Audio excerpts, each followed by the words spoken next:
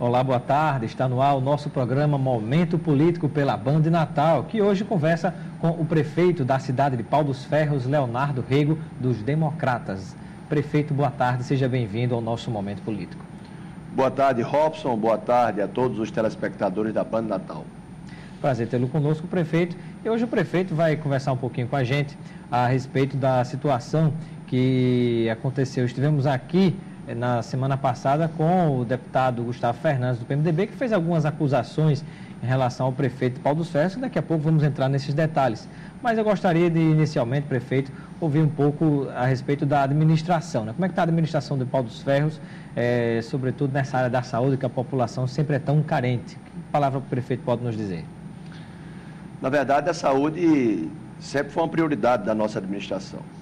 Paulo dos Ferros hoje tem 11 equipes de PSF, inclusive já no próximo mês está sendo implantada a 12ª equipe. A nossa administração, através inclusive do trabalho do próprio secretário Fabrício Torquato, que é o nosso vice-prefeito, está deixando as 11 unidades de saúde do município novas, de melhor padrão, inclusive todas elas extremamente bem equipadas. E além disso, Paulo dos Ferros está recebendo o CAPS AD, que é o CAPS álcool e drogas. Nós já temos o CAPS convencional e agora receberemos o CAPS AD. Agora, no mês de setembro, nós receberemos o SAMU. A própria governadora do estado já citou que estará presente nessa inauguração. E, inclusive, o secretário Domício Arruda teve em Paulo Céus recentemente, com a sua equipe de trabalho, já fazendo o levantamento final para implantação do SAMU de Pau dos Ferros. E nós estamos também em fase de conclusão no, do projeto para a implantação da UPA 24 horas. Eu acredito, pelos trâmites que são exigidos do serviço público, que mais ou menos no mês de outubro nós já possamos assinar essa ordem de serviço. Eu posso dizer que Pau dos Ferros hoje tem uma das melhores saúdes do Estado, porque o nosso trabalho tem sido incansável no sentido de ofertar um serviço de saúde de qualidade à nossa população. Prefeito, um indicativo importante na área da saúde foi conquistado pelo município, inclusive foi indicado é, após estudo feito pela Fundação Getúlio Vargas. O prefeito poderia nos detalhar a respeito? Com relação à Fundação Getúlio Vargas, recentemente foi publicado um índice que coloca Pau dos Ferros entre os cinco municípios do Rio Grande do Norte com melhor renda média. No caso, em primeiro lugar, a capital, Natal, Mossoró, Parnamirim, Caicó e logo em seguida Paulo dos Ferros. Eu posso dar um exemplo a nível do poder público municipal, quando eu assumi a prefeitura no ano de 2005, a folha da prefeitura perfazia um valor de 211 mil reais. Hoje, ela supera um milhão de reais. E além disso, o comércio de Paulo Ferros é muito forte. Nós somos prestadores de serviço de 36 municípios da região do Médio e do Alto Oeste do Rio Grande do Norte. É o município polo do Rio Grande do Norte com a maior convergência de cidades. E a nível de mercado imobiliário, por exemplo, com a chegada da escola técnica, com a expansão do número de cursos da Universidade Estadual, com a futura implantação a curto prazo da Universidade Federal do Semiárido, há dados oficiais do CREA que coloca Paulo dos Céus a nível do interior do Rio Grande do Norte como um dos municípios que mais se desenvolve também a, a título do mercado imobiliário. Isso tudo tem sido motivo para um potencial crescimento do município e que coloca a nossa cidade cada vez mais em destaque como a capital do Alto Oeste do Rio Grande do Norte. Nós teremos agora em setembro, no município de Baldos Ferros, a realização de mais uma edição da FINECAP. Eu peço ao prefeito que explique aos nossos telespectadores o que é a FINECAP e nos traga detalhes a respeito da data da sua realização. A FINECAP é uma feira intermunicipal de negócios, educação, cultura. E eu posso dizer que toda a tradição desse evento, com a infraestrutura que nós temos hoje, através da Praça de Eventos Nossa Senhora da Conceição, em homenagem à padroeira do nosso município, é uma área de 17 mil metros quadrados. A cada ano que se passa, a FINECAP se agiganta. Só para você ter uma ideia, esse ano na área de negócios, nós já temos 112 expositores confirmados. Além disso, o festival gastronômico, o feirão de automóvel, o, feirão de motocicletas, o feirão de, de agronegócio, que é uma inovação este ano, vai acontecer durante o dia, nas proximidades da Praça de Eventos, E eu posso dizer que, a nível de participação popular, até pelo privilégio geográfico de Pau dos Ferros, é uma das festas mais populares do Rio Grande do Norte. Eu até aproveito a grande audiência da Banda Natal para convidar os norte-riograndenses para participar da FINECAP, que terá de 29 a 31 de agosto a vitrine cultural, com mais de 30 grupos culturais da região. E de 1 a 4 de setembro, a FINECAP propriamente dita, nós teremos grandes atrações já contactadas e contratadas, como o Aviões do Forró, Saia Rodada, Cavaleiros do Forró, Alcimar Monteiro, Dogival Dantas. E no aniversário da cidade, dia 4 de setembro, nós concluiremos a festa, nós teremos a cantora Paula Fernandes para comemorarmos os 155 anos de emancipação política de Paulo Ferros. Estamos conversando aqui pela Banda Natal com o prefeito da cidade de Pau dos Ferros, Leonardo Rego, dos Democratas. E eu lembro a você que gosta de política e cidadania que está no ar o nosso www.robsoncarvalho.com. Após o break comercial, vamos tocar no assunto com o prefeito, é, que foi alvo de acusação do deputado Gustavo Fernandes de que o prefeito estaria respondendo a algum processo de investigação por enriquecimento ilícito. Daqui a pouquinho a gente volta para tratar deste assunto.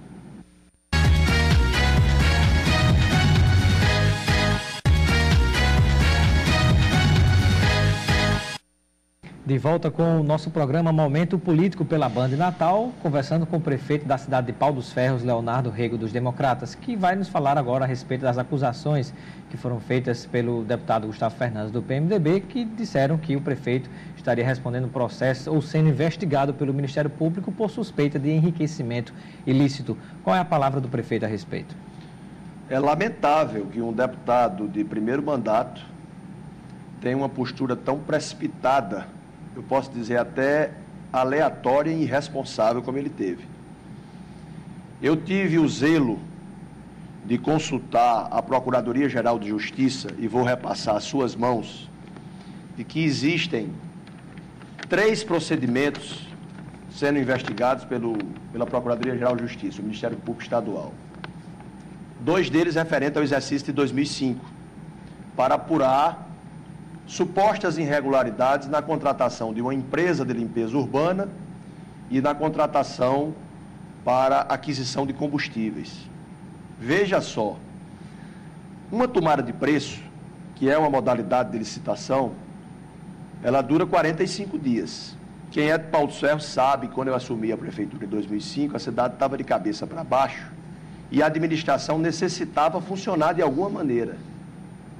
No tocante à limpeza urbana, foi feito um procedimento de dispensa de licitação, que é uma modalidade de licitação, por um período de 90 dias, prorrogável por mais 90 dias, com todo o amparo legal. Com relação à aquisição de combustível, idem. E o Ministério Público está investigando uma denúncia que foi feita à época pela oposição. Outro tópico que está sendo investigado é com relação à execução orçamentária do exercício de 2006. Também uma denúncia feita pela presidente da Câmara, que era minha adversária política e que o Ministério Público está fazendo o seu papel investigando. Eu quero dar informação que, com relação ao exercício de 2006, as contas da Prefeitura de Paulo Sérgio já estão devidamente aprovadas pelo Tribunal de Contas do Estado. Mas o deputado vem fazer uma afirmação dizendo que há investigação sobre enriquecimento ilícito. Essa certidão, ela diz completamente ao contrário. E eu quero dar uma informação ao povo palferrense do Rio Grande do Norte, que eu estou tomando uma atitude pioneira de solicitar à Procuradoria-Geral de Justiça que ela me investigue. Eu já tive um contato preliminar com o procurador Giovanni, porque o procurador-geral na semana passada estava de férias, e ele disse que acha pouco provável que a Procuradoria-Geral de Justiça acate essa minha solicitação, porque não, não há nenhuma fundamentação que provocam a investigação nesse sentido. Então, o prefeito de Paulo Ferros é, abre as portas para que o próprio e pede que o próprio Ministério Público venha a investigá-lo. Essa é a minha intenção. E eu acho que todo político brasileiro, na hora em que isso tivesse a oportunidade de sofrer uma acusação leviana como esta, ele deveria tomar a mesma providência. É, de fato, aqui para concluir esse assunto de investigação, estou aqui com uma certidão do Ministério Público do Rio Grande do Norte que mostra realmente que não há qualquer investigação sobre suspeita de enriquecimento ilícito do prefeito de Paulo dos Ferros, que aqui está, como afirmou o deputado Gustavo Fernandes. sobre esse assunto, acho que está devidamente esclarecido. E eu queria complementar, Robson, rapidamente o meu comentário, dizendo que se alguém deve temer alguma investigação nesse sentido, é o próprio deputado Gustavo Fernandes. Por quê, prefeito? Porque ele é sócio de uma clínica particular, ou seja, com fins lucrativos, e que essa clínica foi montada, estruturada a nível de equipamentos com recursos oriundos do Ministério da Saúde. Recursos federais. Recursos federais, 820 mil reais liberados durante o exercício de 2002. Ou seja, recurso público para montar clínica particular com fins lucrativos. Existe alguma prova disso, prefeito? Eu posso lhe passar a documentação que está aqui nas minhas mãos.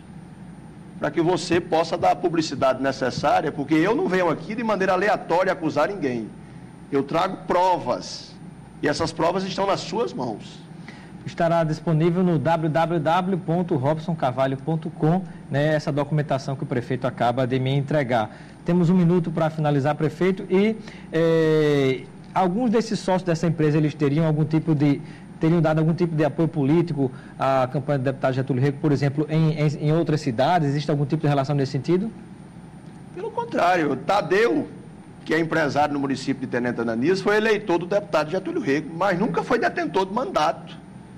Ele é um empresário bem sucedido na região. Quando o ex-deputado Elias Fernandes, que é pai do deputado, montou a sociedade com o ex-prefeito de Paulo Celso, convidou Tadeu, como empresário de bom capital de giro, para compor a sociedade. Mas quem deve satisfação à opinião pública é o deputado Gustavo Fernandes, o seu pai, que é diretor-geral do Denox, e o ex-prefeito de Paulo Celso, que são proprietários de uma clínica particular que foi montada com recurso público é realmente uma afirmação muito contundente e aqui estão as provas que estarão à disposição no www.robsoncarvalho.com. Prefeito de Paulo Ferro, Leonardo Rego, muito obrigado pela sua participação. Eu que agradeço e deixo um forte abraço a todos os telespectadores da Band. Muito obrigado, bom final de semana para todos e todas e até a próxima segunda-feira, se Deus quiser, com mais um Momento Político pela Band Natal.